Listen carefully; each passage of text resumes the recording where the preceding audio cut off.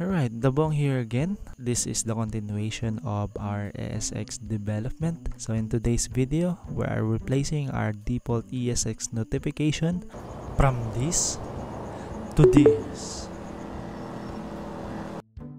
So from the start, I added a link in the description. So you will see uh, SY Notify. So this is the link that I provided in the description. Just look around there. And then uh, you have to click these releases. Um, it's version 2.2, so you have to click this latest version.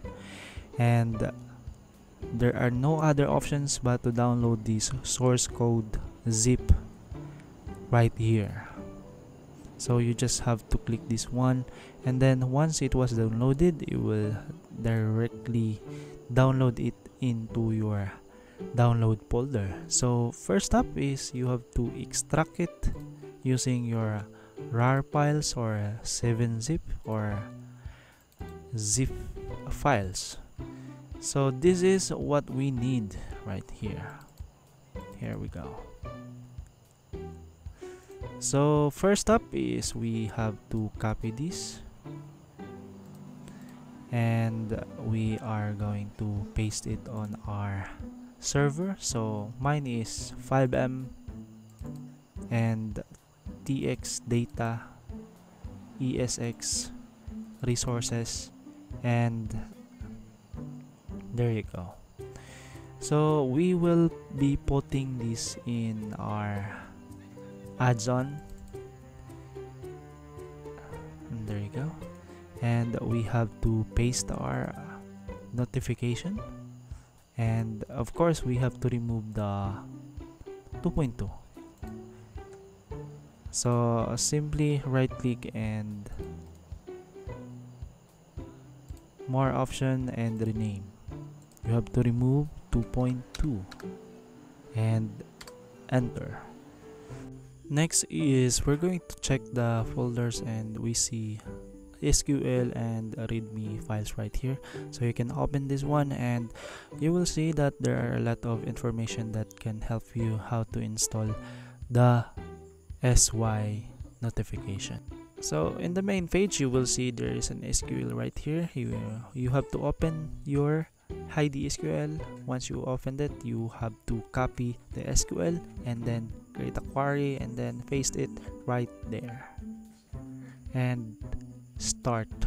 And you will see that at the bottom um, there's no error on our SQL now let's go back to the main page and copy this right here. Um, we have to change the ES extended functions so that um, if you are interested on using it as your default notification so you have to uh, find this code on to your uh, ES extended.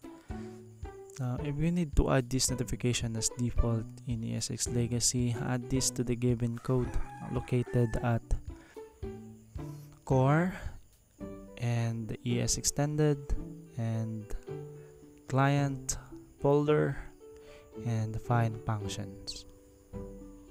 And there you go. Now you have to uh, control F and search for notification. So this is it the, de the default one. So we have to replace it with our exported product. So this is it. Pansit. So replace it with this one. So you have to copy this up and go back to this portion and you have to delete this one and paste the new one. So that's that's so simple guys. You you don't need anything else in your life. So you have to save this one and close now when we go back and read this information um, you have these options that you can add an export for this notification. If you want to use this notification you can add this to the client side of your script and add this. You, you just have to copy this and of course you have to replace this one.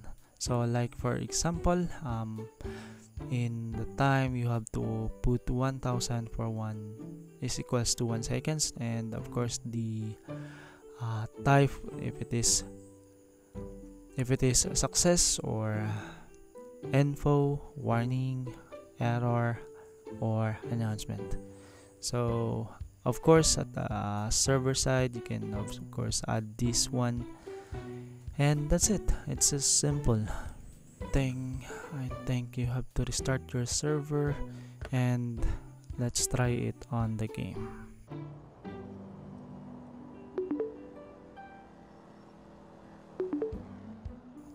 oh no it actually works and i really like it guys. Um you don't have to buy any scripts because it is free on github so don't forget to subscribe